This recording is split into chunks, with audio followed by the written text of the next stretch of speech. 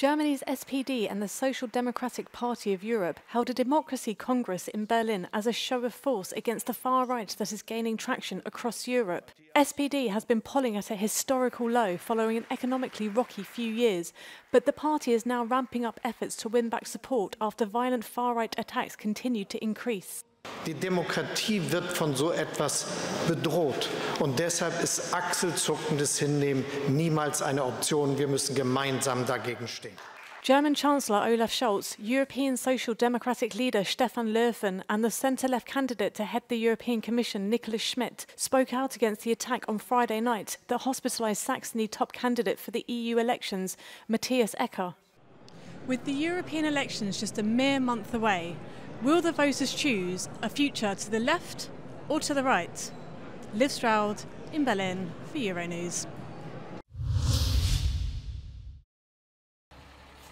Ukraine has been losing ground on the battlefield to Russia over the last several months, in particular in the eastern Donetsk region.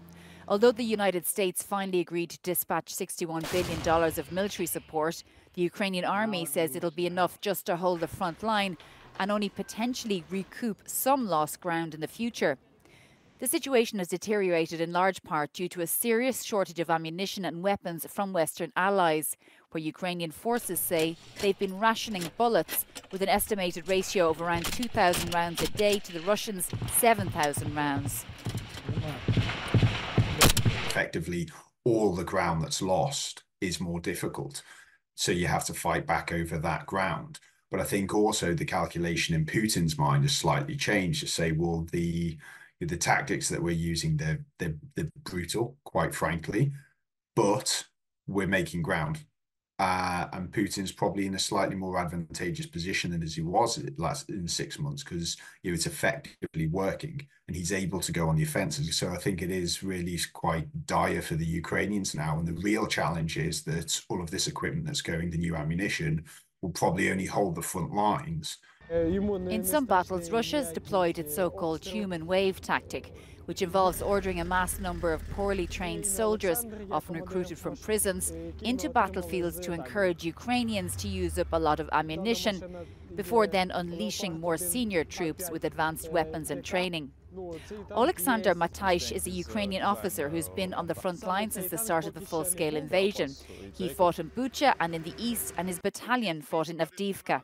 Oh, that's because lovely. I'm on the river. Yeah. Hold on. Uh, we will win this war but uh, the losses can be critical for Ukraine. We have no enough people. You know, uh, at the start of the war, we have 38 millions. Too many people leave. Uh, someone don't want to fight. Uh, someone can't fight. If we will lose too many people, we just can't uh, defend our country. So we need help. Last week in Kiev, NATO Secretary General Jens Stoltenberg acknowledged to Ukrainian President Zelensky that Ukraine has been outgunned for months and Russia has been able to push forward on the front line. But he said more support is on the way. The question is when. Shona Murray, Euronews, Brussels.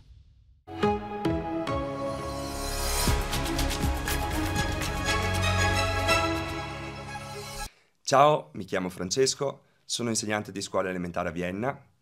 Il più grande problema dell'istruzione in Austria al momento è la mancanza di personale e se fossi eletto parlamentare europeo vorrei ridare dignità a questo lavoro eh, affinché il, lo stipendio sia adeguato alle mansioni da svolgere e agli anni di studio per uh, far sì che ci siano più insegnanti per uh, migliorare la qualità dell'insegnamento.